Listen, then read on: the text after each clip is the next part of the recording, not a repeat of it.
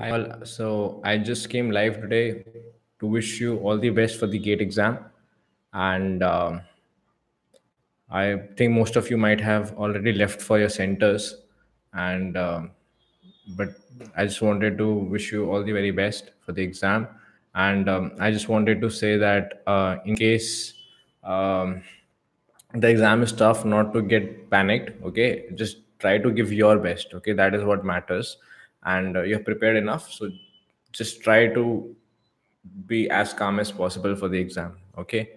And um, what else? Don't make silly mistakes. There is a lot of chance that in the gate exam you'll make silly mistakes so try and avoid that. What i mean by silly mistakes is for example um, you would not get time for revision okay in in the in the exam because it's a lengthy exam. Of course if you're at if you're attempting 10 15 questions then you will get time for revision otherwise you won't get time for revision until unless you have practiced a lot. So what i would recommend is just to uh, you know uh, once you're solving a question at that point of time only solve it thoroughly so that you don't have to come again to see the question until unless you're doubtful about a question. In that that case you can mark for review but in case you are not clear with the question uh, or if you're clear with the question just solve it then okay? You might not get time to revise later on okay? And uh, aptitude makes a lot of difference. So make sure that you take out some time at least 15 minutes or 15 to 20 minutes of your time for the aptitude section because that's important. And gate unlike net it is not that easy the aptitude section. Okay the english portion is easy. If your english is good um, it would be very easy for you to solve at least four questions from the aptitude section because four to five questions are based on your english general english. Rest five five questions which are two markers are generally based on the aptitude and they're not that easy to solve okay? But if you are able to secure 10 marks in the aptitude section that's a good uh, you know that's a good uh, score. And uh, what else i wanted to talk about? Yeah please make sure that you know there are some questions where the reagent is given uh, or the molecule is given and then they give some reagent and they give you product a and then on the left side they give you another reagent and they say product b. So a will be different b will be different but when you see the options they will write a this side and b this side. So sometimes uh, in a hurry you tend to uh, confuse. So make sure that whatever a is mentioned you look in the question what is mentioned in the options a? Because sometimes a will be given here in the uh, in the question and b here and the options a will be given on this side and b on that side. I have i have personally made that mistake. So that's why i'm telling you that. Okay. And uh, and uh, that greater than or less than don't make that silly mistake okay? Make sure that you are going for the right option especially in metal carbonyls uh, see what kind of bond they're asking for whether they're asking for metal carbon bond or the co bond because it will be inverse. If the metal carbon bond is strong then co bond will be weak. And if co bond is strong then metal carbon bond will be weak. So make sure that you analyze it properly before attempting okay? And i don't know if any one of you from iit jam is here but i'll definitely this time make an analysis as to what are the expected topics in the iit jam video as well. I've got tons of requests for that. So i'll definitely be doing that as well. All right? And uh, if you have any other doubts thank you so much for showing um, so much appreciation. I wish you all the very best. And in case i am here for another five six minutes before i leave for my center so uh, in case you have any kind of queries um, please feel free to ask me as of now.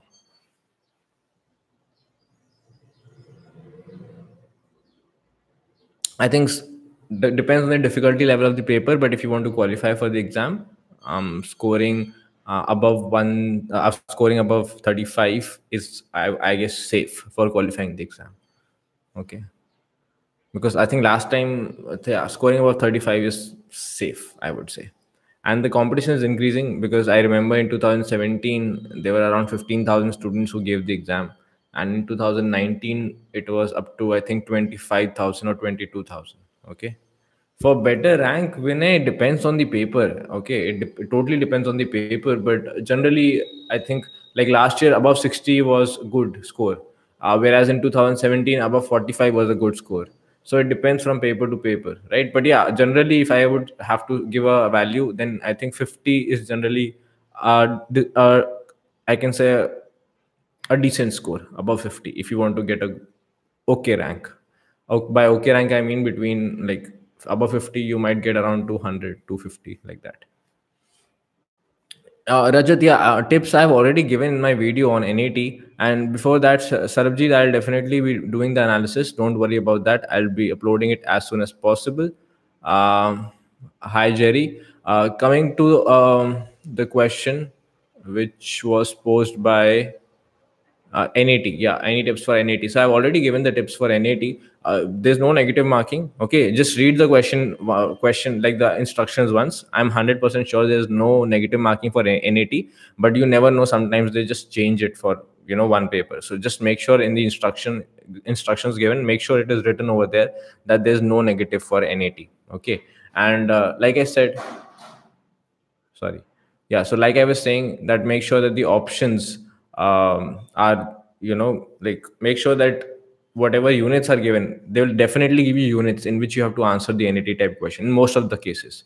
Okay? So then make sure that whatever reactants are given whatever things are given to you you are able to rearrange the units such that you get to, to get to the units of the answer. Okay?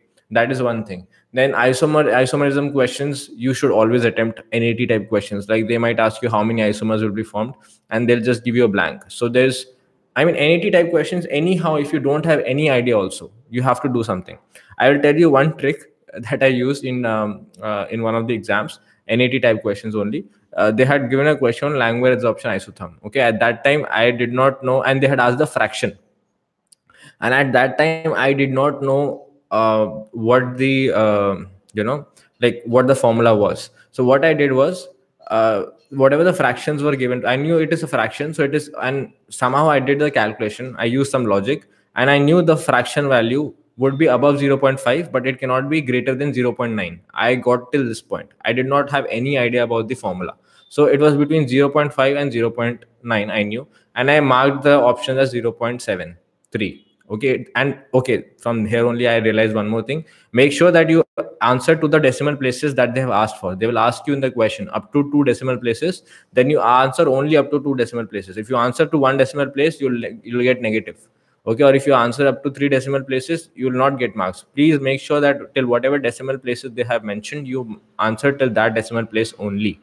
Okay so yeah i marked the answer as 0.73 and somehow the range was 0.70 to 0.77 so this is a benefit that you can use like i said with logic also you can solve physical chemistry questions especially the nat ones because you don't have any negative over there uh, Rakshanda, actually, I was actually looking for that book because th- I think that is one of the best books, the one uh, which was written in 1965. But I uh, hope that you have some updated version. I think the best version I have is 1984, I think, because after 1965 a lot of other uh, new discoveries were made in those fields. So 1965 would, book would not be complete okay? Uh, that is totally on the exam puja uh, you can say up to a rank of 300 but uh, 1 to 100 or 1 to 50 is i think a very difficult task to guess. That totally depends on the level of the exam. After the exam i might be able to tell you uh, that uh, how much score would be safe for a 50 ranker but before the exam it is impossible to say. Uh, i'm an iit jam aspirant. I've just cracked organic today. Uh, you just started organic today. Um, if your option if your uh, goal is to crack iit it's definitely possible. Um, but uh, i don't know about getting a good score. Okay I am doubtful that without the help of organic, it will be difficult to get a good score. But yes, you can definitely qualify the exam.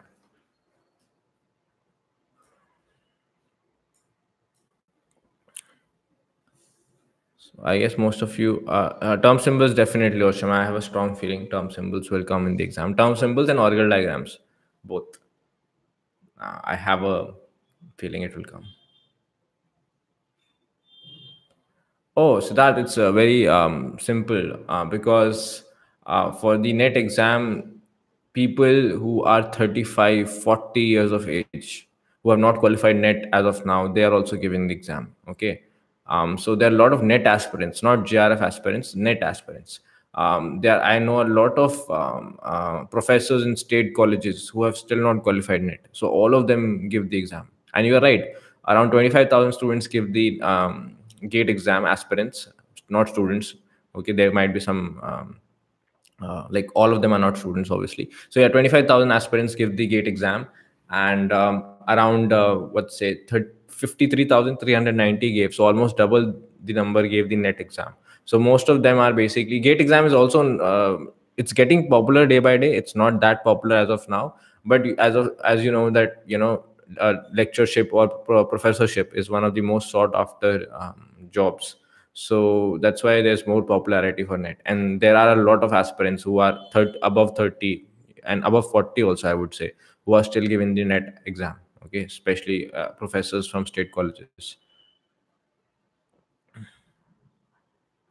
Natural process uh, others i have not done the analysis. I, like i told you i would be do i'll do a live session also and i'll do a video on based on the analysis there once i studied i have actually not looked at the iit jam papers for the last two three years okay so i have no idea as of now i once i'll do the analysis i'll definitely help you out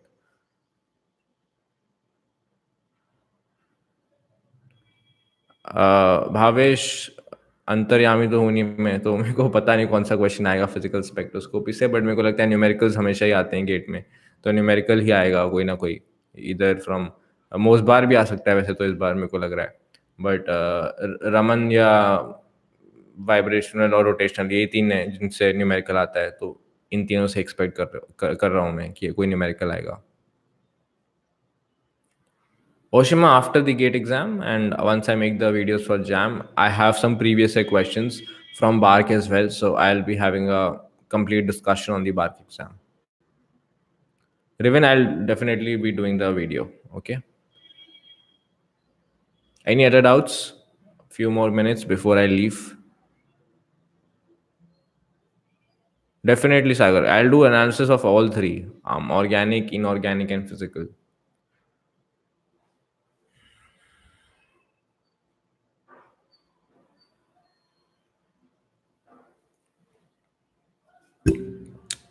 I think most of the doubts are up.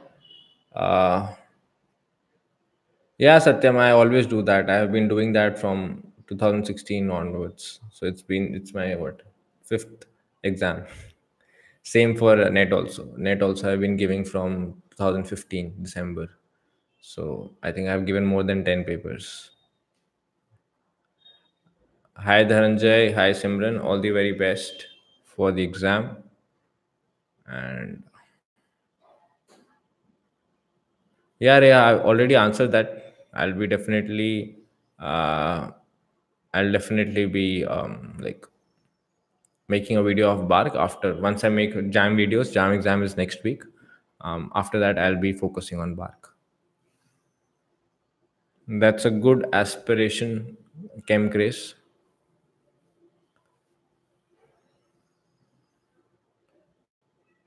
No, Siddharth. First two I gave just for fun. So the third one.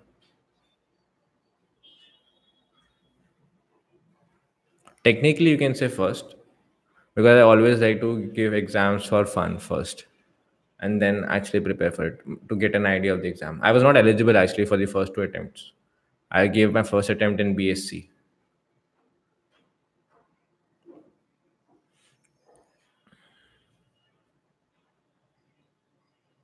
Anyway, so personal questions outside or some other time, just ask me doubts as of now. Please suggest books on StereoChem which are available as free PDFs. I could not find any online.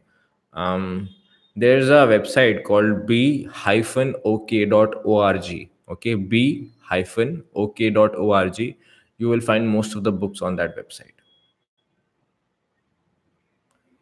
Even though I don't promote piracy, but anyway, how there are a lot of students who have issues uh, with purchasing books. So that is a very good website.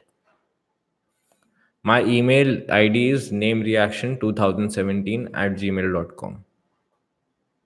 This one I've particularly made for uh, answering your queries. Namereaction2017 at gmail.com or you can actually go to the website also our facebook page reagent blues over there also you can ask me your doubts Reagent Blues.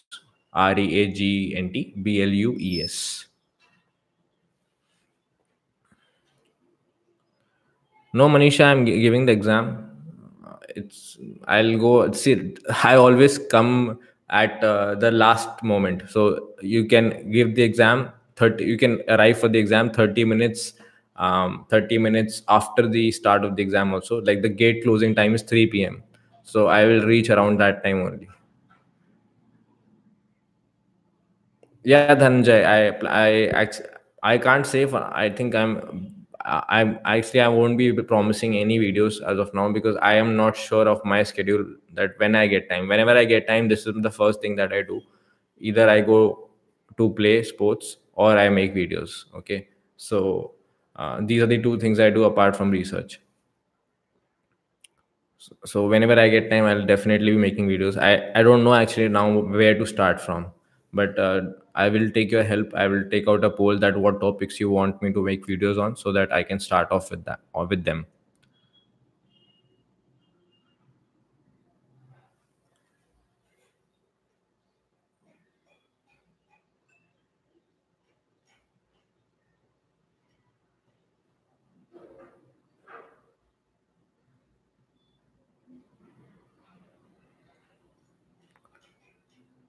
uh, that was just a trick uh, manisha. I i, mean uh, that was not a trick as such. That was not a guess. I was saying that when you are doing reverse when you are solving the questions or when you are doing reverse engineering kind of reverse engineering means basically you have the options and you are put fitting the options in the uh, question and getting the answer. That is what reverse you can say uh, reverse answering is or reverse whatever you want, want to call it so for that i said whenever you are doing reverse questions it should be either c or b or c not a or d. Either option c or b generally are the answers when you do the reverse uh, the reverse way okay?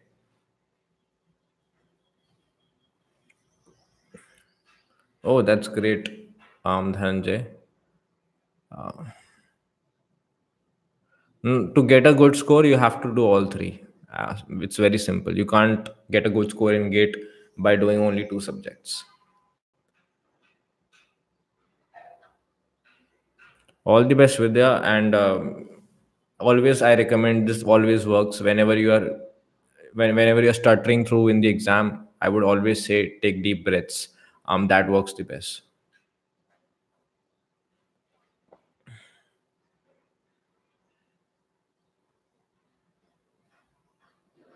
anyway it's 12:30 and most of the questions are also out. So i wish you again all the very best for the exam. Just do well take deep breaths and look at the start of the video if you're just joining right now because in start of the video i mentioned a few things. Okay this video will get uploaded this live session and you can just just have a look at the tips for the first 3 4 minutes. They they might be useful for you. Okay and that's it. All the very best i wish you all that you score whatever ranks you desire. And uh, i would still say that if the exam doesn't go well and you're just qualifying the exam also it is a big deal. I can tell you out of personal experience qualifying the gate exam is also a big deal. Getting a rank is impressive but qualifying the exam is also a good deal. Okay? So all the very best and uh, i'll see you after the exam with the analysis of the exam. Okay? So yeah. Thank you